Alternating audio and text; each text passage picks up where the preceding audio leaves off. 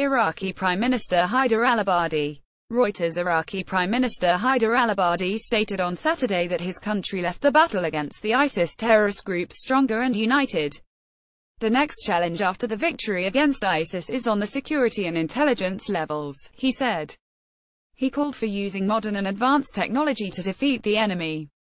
The victory should not be wasted due to some oversight and we will not allow terrorism to exploit any flaw, stressed Abadi. The enemy has a skewed mentality and we should be up to the challenge through focusing on intelligence and security efforts, he explained. Iraq has many duties ahead of it, such as restoring stability to liberated regions, he continued. The people also have a responsibility in providing a stable and united base from which the intelligence and security efforts can be launched, said the Iraqi premier. Abadi also underlined the importance of discipline and combating corruption.